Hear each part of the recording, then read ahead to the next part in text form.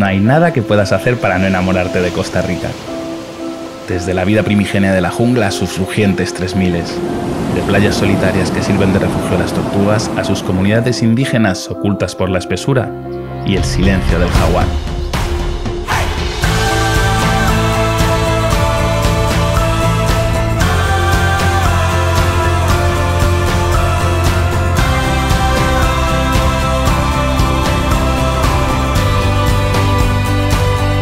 Todo un catálogo de bondades y cariño que te hacen sentir en el lugar en el que debes estar.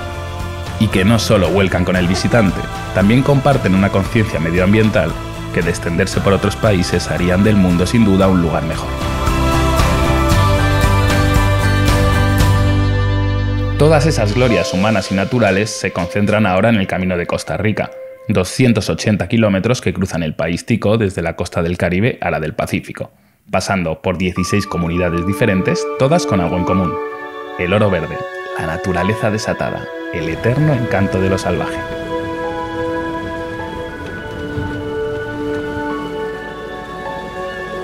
El abrumador espectáculo natural de este gigantesco pulmón hace impensable no sentirse partícipe de la gran conciencia medioambiental que habita en cada tico.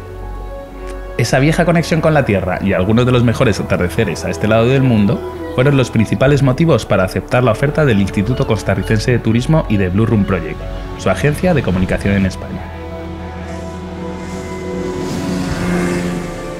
El objetivo, recorrer esta nueva senda que vertebra Costa Rica y que ya ha abierto su acceso al público.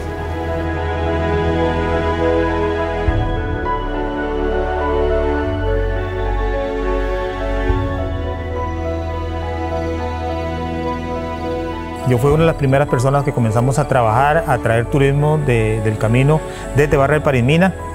Hemos involucrado la Reserva Pacuare.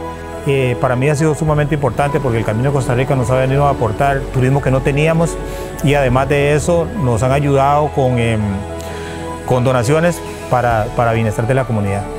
Rumbo a la Reserva de Pacuare se pone el pie en lugares como Barra de Parismina, un encantador pueblo plagado de flores y sonrisas, gente acicalándose en el porche y grandes planes para el visitante. El Camino de Costa Rica tiene una bienvenida a los turistas. Les brindamos un sendero muy grande. Sí, tenemos casas para los voluntarios que vienen a ser voluntariados aquí a la barra Parismina, a ver, a ayudarlos a cuidar la tortuga, protegerlas. También nos ayudan con lo que es asunto de, de la unidad de las tortugas nos ayudan a preparar un vivero para guardar, cuidar los huevos de las tortugas. Es muy lindo, la gente del pueblo cuida y protege a, los turistas. Es un paraíso.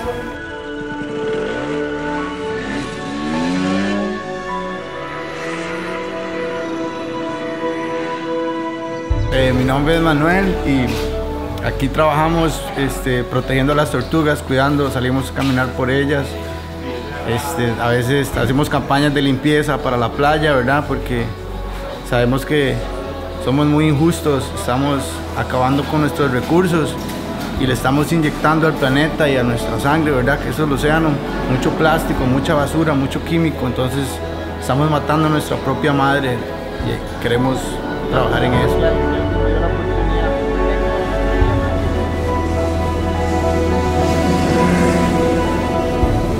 Puedes elegir comenzar tu andadura tanto desde las húmedas costas del Caribe como desde las mansas aguas del Pacífico. Nosotros elegimos internarnos por los canales que conectan con el río Parismina, una interminable red de riberas tropicales, salpicadas aquí y allá por ojos furtivos de caimanes, elegantes garzas secando las plumas al sol y el vivir sonriente del perezoso.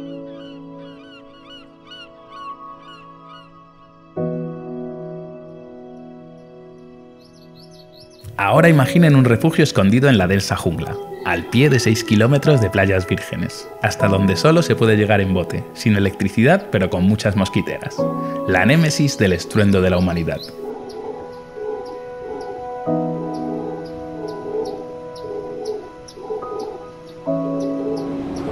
Eso es la reserva de Pacuare, donde además de la catarsis que supone desprenderte de todo en el fragor de la selva, se llevan a cabo algunos de los proyectos de conservación y educación más interesantes de todo Costa Rica. Empieza hace alrededor de 31 años atrás, en 1989, cuando un inglés vino acá, don John Denham, Vino con un sueño como cualquier otra persona de venir a conocer el trópico, de sus bosques y su flora y fauna. Llegó acá a la costa del Caribe y lo que se encontró fue algo muy diferente a lo que él esperaba hallar. Encontró una zona deforestada donde los animales y la vida silvestre que él esperaba encontrar no existía. hizo un segundo viaje a Costa Rica con su familia con una gran decisión, llegar hasta el mismo sitio, encontrar a los dueños que, que formaban esta granja acá y comprar sus terrenos, ¿verdad? Decidió comprar los terrenos con una sola idea, que era poder formar un sitio de protección para la vida silvestre y que el bosque se regenerara nuevamente a su ritmo, a su tiempo y a su espacio. Al pasar los años, con ayuda de los locales, fue entendiendo que la principal causa que estaba afectando el sitio era la depredación de las tortugas marinas. Él no tenía conocimiento sobre esta situación. Entonces empezó a crear un proyecto con voluntarios para empezar a caminar, patrullar la playa durante la noche y recopilar información cuál era el principal problema que estaba teniendo la zona. ¿verdad? Se dio cuenta que acá en Pacuar, en estos 6 kilómetros de playa que es la propiedad, este, anida la tortuga marina más grande del mundo, que es la baula, y para Costa Rica esta es la zona de anidación más importante del país, ¿verdad? Ya al pasar del tiempo se fueron involucrando otras organizaciones, ¿verdad? Como la que al día de hoy es la encargada de, de administrar el proyecto, que es EPI, Ecology Project International, que tiene alrededor de 20 años trabajando con la Reserva Pacuar. Enclavado entre la espesura del bosque tropical de Matina y establecido en 1989, en este sosegado asentamiento científico se controla la anidación de algunas de las grandes tortugas más amenazadas del mundo. Abierto al visitante desde marzo a julio, ofrece voluntariados y cursos sobre el terreno en pleno territorio del ocelote y el mono aullador. Como apunte personal, hacía tiempo que no veíamos tantas luciérnagas ni tantas estrellas. Yo soy Kat, um, soy de los Estados Unidos, tengo 25 años y yo soy una instructora para Ecology Project International. Pues llegué a Costa Rica en febrero uh, de este año para trabajar con grupos. Normalmente lo que hacemos es llevar grupos, uh, grupos de estudiantes a la reserva y salimos con ellos en las noches para patrullar, para enseñarles sobre la investigación con las tortugas marinas y todo.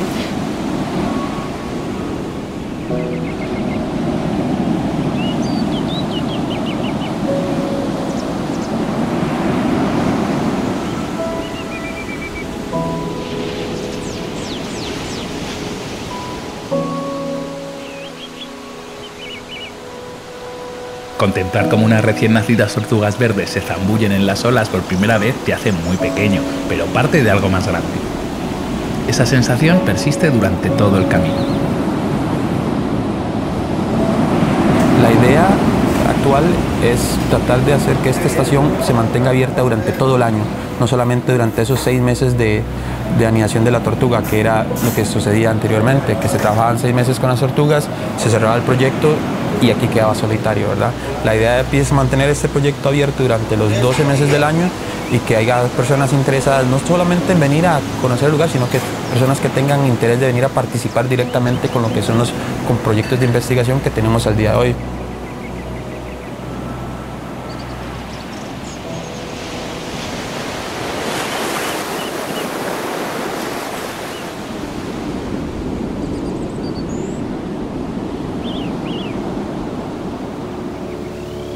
Gran parte de los destinos todavía están en fase de desarrollo, lo que amigos es una oportunidad única.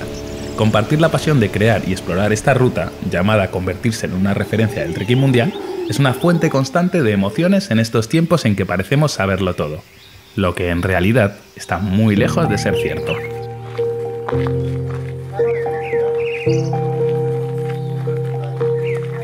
Pues nos sentimos muy orgullosos porque Costa Rica a nivel mundial eh, se destaca mucho por su flora y su fauna, pero eh, hay una gran felicidad también de poder mostrar nuestra cultura, nuestras raíces, los valores del costarricense.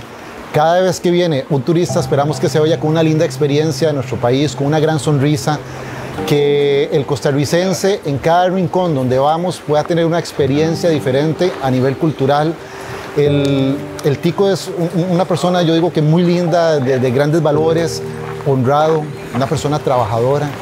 una persona muy sincera, que se preocupa por el turista, de sonreírle, que tiene una gran empatía. Entonces, para nosotros eso nos llena de mucha, mucha felicidad ver que después de que terminamos un trekking, ya sea de 16 días, de 14 días con los turistas, eh, ver esa gran felicidad que van a llevar en su corazón hacia sus países.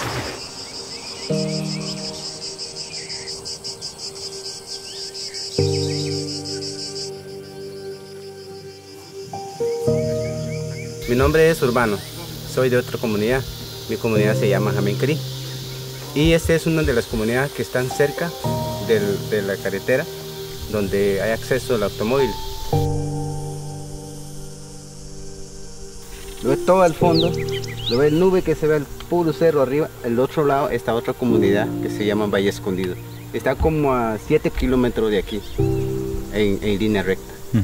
Son como ocho horas de caminata de aquí. Caminata difícil, ¿no? Caminata difícil. Demasiados barros, raíces y muchas trepadas y bajadas. Esto es la otra comunidad. Otra comunidad que queda en esta dirección está igual, casi como siete horas. Se llama Ciudad. Esta comunidad está conformada aproximadamente como 50, 56 personas que viven aquí. Y este, hay una escuela, una escuelita primaria, eh, por ahorita, este año tenemos los colegios, ya secundarios. Costa Rica es un país que ha invertido mucho este a nivel educacional, desde las escuelas, en ese amor por la naturaleza, en ese compromiso para poder dejar eh, a las siguientes generaciones un país más natural, más libre de carbono. Entonces, eh, pues para nosotros es ser parte de todos esos proyectos ecológicos es eh, un gran honor y un gran eh, orgullo. Aquí la gente, normal las comunidades indígenas, usamos dos, dos lenguas. Hablamos en cabecar y hablamos español. Entonces manejamos los dos idiomas rutinariamente. Este, el, estar, digamos, con, la, con las etnias cabecar eh, es volver a nuestras raíces, ¿verdad? Aprender un poco más de nosotros, aprender más de la naturaleza, esa aventura de caminar en la pura montaña es, eh, es un viaje fascinante. Cuando uno llega a las, a las comunidades Cabecar como Jamaiquirí, como Valle Escondido, como Ciobata, es una felicidad tan grande y aprender, digamos, de cómo viven ellos, ¿verdad? Eh, que es muy diferente a la experiencia de vivir en la ciudad. 25 años lo ha dicho de coñas, lo ha dicho Qué locura.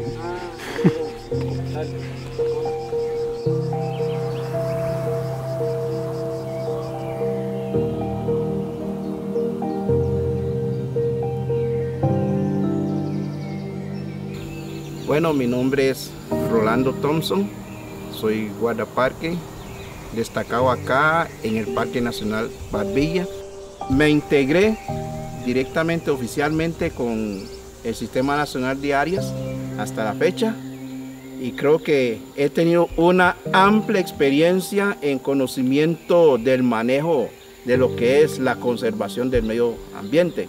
Como les dije, es una experiencia muy enriquecedora Ahí es donde comprendamos, como nos decían nuestros ancestros, abuelos, si el ser humano cuida el bosque, el bosque le va a dar de vivir y va a haber una mejor, un mejor ambiente para la humanidad. En cualquier país del mundo que no cuida y no conserva el bosque, va a ser un desastre. Y no es que uno lo ha leído y lo ha visto, es que uno lo ha vivido como guardaparque, entonces es algo que a mí me enorgullece. Bueno, es algo que no tiene, no tiene precio, no es un salario, es un bienestar de la vida. Costa Rica contiene el 5% de toda la biodiversidad mundial, un exuberante mosaico de vida natural que sigue creciendo con esplendor gracias a la protección de los territorios. Un 25% del área del país se ha declarado reserva natural para salvaguardar su orgulloso latido y su explosiva belleza. Hace 10 años empezamos y nos pasamos como yo diría como tres años y medio buscando la ruta, ¿no? ¿Verdad? Cómo cruzar, porque si tú quieres la naturaleza más preciosa de cruzar del Atlántico al Pacífico, ¿qué haces? Vas por esas montañas de Talamanca pero muy pocas personas pueden hacer eso. Tienes que ser extremista en senderismo, ¿no verdad? Tienes que ser montañista, súper experimentado y joven. Pero nosotros queríamos precisamente el modelo de Compostela, que es que mucha gente eventualmente lo puedan hacer y que sea algo que nutre a los pueblecitos por donde pasa el camino. Es parte de lo que queremos nosotros eh, ayudar a que el Camino de Costa Rica se vea, se exponga y que la gente entienda que además de caminar pueden venir y conocer espacios como Finca Viali, que es un lugar que, que, está hecho para, para, para que la gente aprenda, ¿verdad? Entonces, la finalidad es poder, digamos, ir apoyando todo este tipo, digamos, de negocios locales, familiares, en la mayoría, digamos, de, lugares donde nos tuvimos la oportunidad de quedarnos, fueron en, negocios 100%, digamos, familiares, en las sodas o en los restaurantes donde comimos 100% familiares. Entonces, eso crea un apoyo a la economía de esos pueblos por donde generalmente no transita afluencia de, digamos, de turismo. Le tenemos mucho cariño a toda la gente que se ha involucrado tenemos como una red de albergues que son partes del camino y todas esas personas tenemos una relación personal con ellos. Así que eso es la parte más, más linda de, de la experiencia y saber que estamos ayudándolos, ¿no verdad? Lo estamos ayudándoles trayéndoles negocios. Hay cuatro cosas que nunca faltan en un pueblo de Costa Rica. Una escuela, levantada gracias a la inversión realizada con el presupuesto del ejército, abolido en 1948, un campo de fútbol y una iglesia, templos del contacto social y algo mucho más abstracto, un acogedor sentimiento de pertenencia. Eh, somos una finca apícola, cafetalera, tenemos alrededor de 10.000 plantas de café, alrededor de 80 colmenas polinizadoras. Muchas veces las organizaciones quieren como una fórmula y no, no es de fórmula. Lo que, lo que necesita las brisas no es lo que necesita humo de pejibayi, no es lo que necesita naranjillo. ¿Tú me entiendes? Son cosas diferentes y hay que dejar que la gente pueda hacer lo que ellos definen que necesiten también. Entonces, eso es así. Gente que trabajaba en desarrollo en Costa Rica nos decían, ten mucho cuidado, que esto va a ser muy difícil para la gente entender, tienes que presentar eso no fue mi experiencia. La gente lo captaba inmediatamente, sabía lo que le significaba. ¿no? También la gente dice, tienes que tener cuidado con las expectativas. No ha habido problema con eso. La gente entiende que esto va despacio. es italiana. Es hija de una reina que trajimos de la zona de Los Santos. Estaba viendo un poco de anatomía también. Según la NASA, el cuerpo de la abeja no está diseñado para volar y es un animal que vuela, entonces ni los científicos explican cómo, cómo ese animal logró volar, ¿verdad? Es fenomenal, es biológicamente, wow, buenísimo. Esto que se ve acá se llama piquera. Cuando una piquera está así grande, fuerte, ¿qué quiere decir? Que la colmena también está fuerte por dentro, que ella puede defenderse de cualquier depredador que llegue ahí. Ellas no pican, pero sí muerden. La miel es súper medicinal, lo utilizan para la vista, más que todo la otra miel la utilizan para consumo, digamos. Me siento, me siento súper feliz, me encanta, me encanta trabajar aquí, me encanta lo que hago, amo mi trabajo. Siento que no es mi trabajo, es como mi manera de vivir.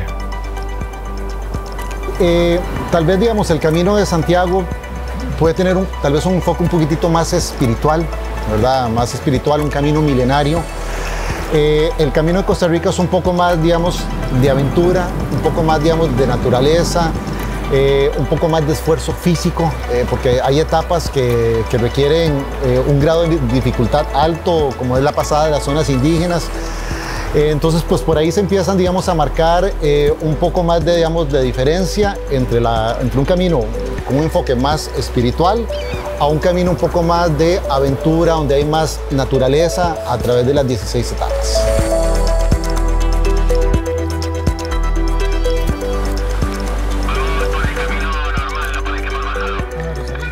Camino de Costa Rica sabe combinar el desafío físico y la exploración con una inmersión directa en la cultura local, compartiendo siempre las jornadas con los principales artífices de esta alegría de vivir. De parte de Tico Zapata nos sentimos sumamente felices porque nosotros pues fuimos la, una de las agencias eh, o uno de los operadores pioneros en este proyecto. Entonces eh, hemos ido viendo poco a poco ese crecimiento que está teniendo, el entusiasmo de la gente, eh, la felicidad de los turistas, tanto el turista nacional como el turista extranjero, cuando ya han realizado todo el trekking.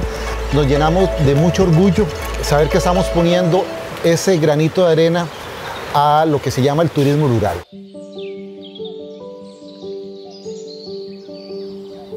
Uno reflexiona sobre estas cosas una mañana cualquiera tras varias jornadas de camino mientras se despereza en pleno bosque nuboso.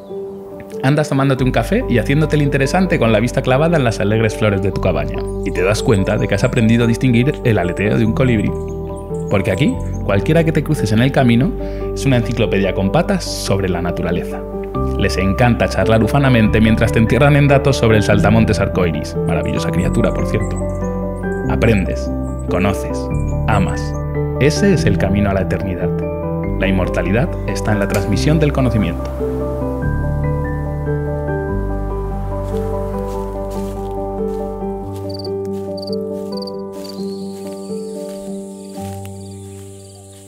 Alrededor de 10.000 especies de plantas y árboles, un millar de aves y dos centenares de mamíferos. 35.000 insectos diferentes, contenidos en 27 parques nacionales y 58 refugios de vida salvaje. Icónicos santuarios como el Parque Nacional Manuel Antonio o edenes escondidos en el espacio y en el tiempo como el Bosque Tropical Nuboso de Palo Verde.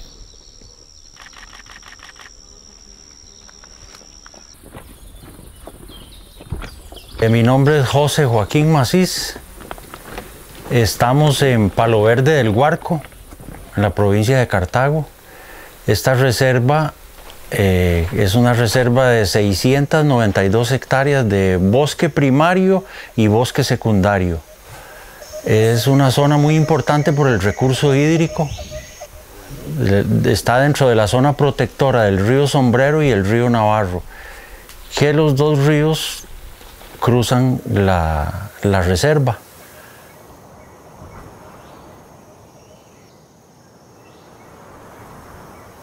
Es un bosque nuboso, está desde los 1600 en esta parte donde estamos a los 2100 y en las partes bajas como a 1300 más o menos en la parte de Navarro Muñeco. Y eh, cruza eh, por el, camino de Costa Rica.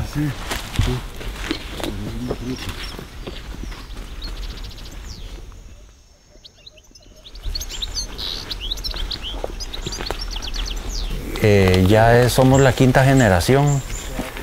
Mi bisabuelo, que fue el que, el que empezó en 1936, que él adquirió primero una parte y después agregó, fueron comprando dos partes más y para juntar lo que es ahora, las 692 hectáreas.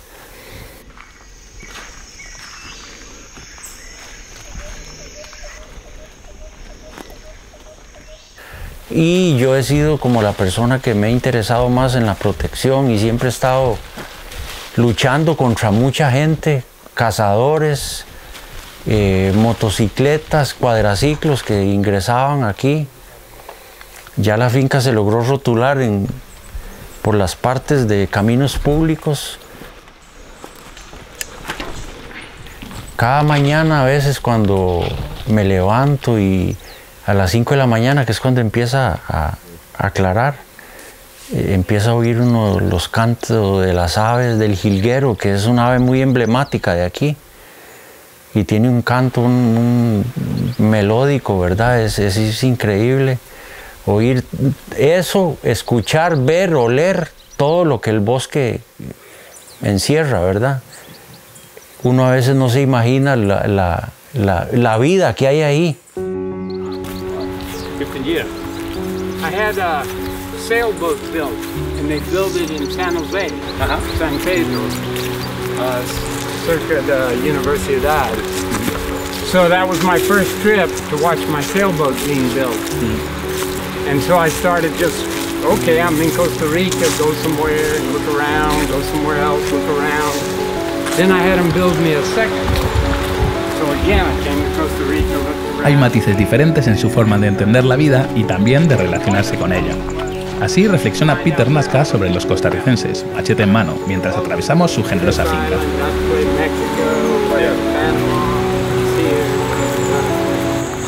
You can see where I throw the branches that fall in the road everywhere. You look on the side.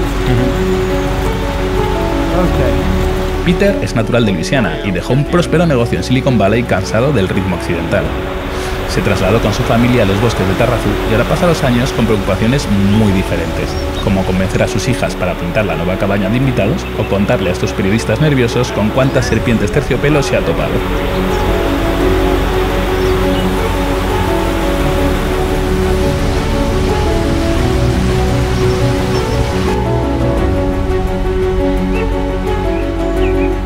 Como periodistas gozamos de unos cuantos privilegios, como no tener que caminar todas las etapas con el equipo a cuestas, Costa Rica siempre está dispuesta a demostrar que es auténtico territorio de aventura.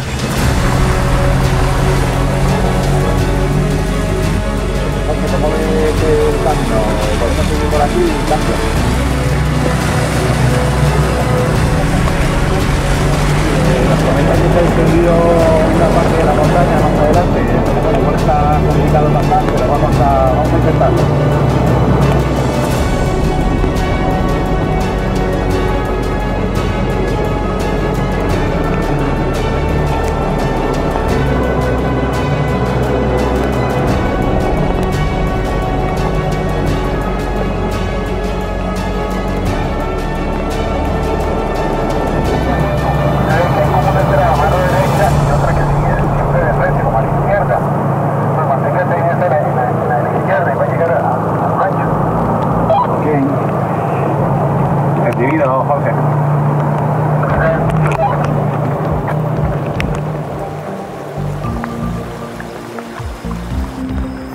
Un sitio donde me encanta parar a almorzar por, eh, se llama Rancho Turístico Buenavista Tarrazú, que está justo se ve, se- se ve el Pacífico por primera vez desde ahí.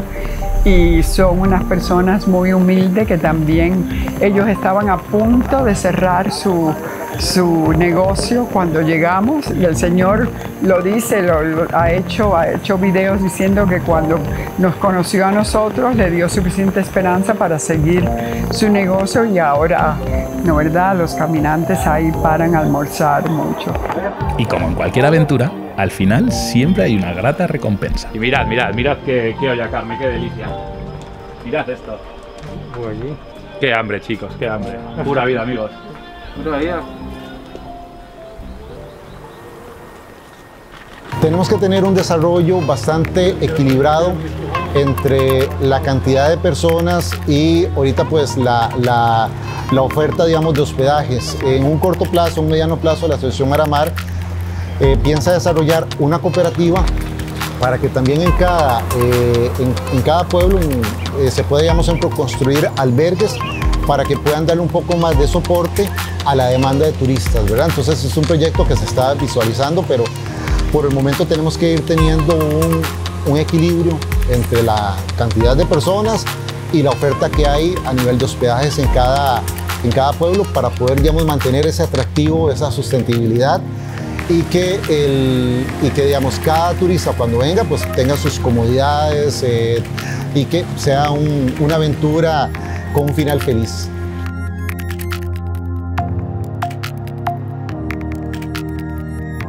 Han ido entendiendo bastante rápido a nivel, digamos, de las comunidades que tocan, ¿verdad? Lógicamente que es un proceso que poco a poco ellos tienen que irse capacitando y entendiendo bien el tema del concepto, digamos, de turismo.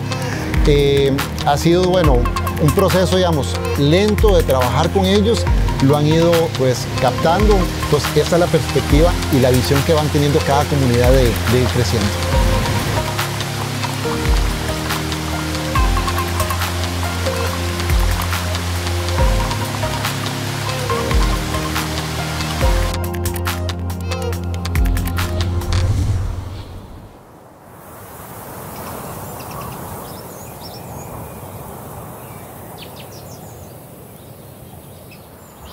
Ya no es necesario que se imaginen cómo es vivir en el paraíso.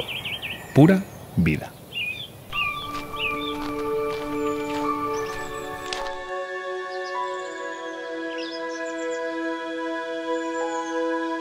¿Tienen los caminos un final? ¿No están en realidad todos conectados? ¿Lo estamos nosotros?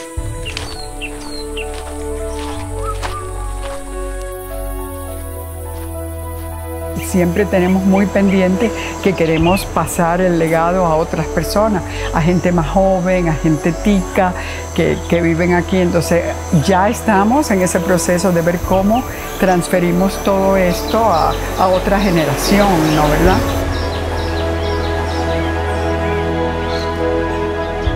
Quizá no haya un final, pero sí que hay metas. La nuestra son estas orillas de Quepos lamidas por el Pacífico.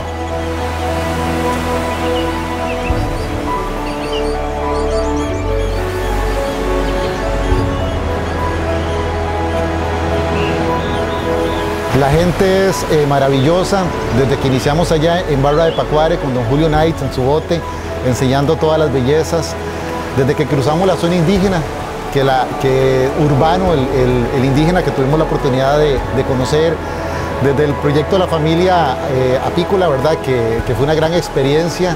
Eh, terminar acá en, en Quepos, el campamento de Naranjillo, o sea, la gente es sumamente especial y hay una gran conciencia hacia el tema del turismo y eh, qué mejor manera que eh, poderle regalar a los turistas una gran sonrisa en las 16 comunidades que atraviesa el Camino de Costa Rica. Todos los espíritus unidos en un camino, desde las playas del Caribe a las playas del Pacífico, con un objetivo común definido por los parámetros de la sostenibilidad. Paisajes primordiales sobre los que orbitan los correctos ideales.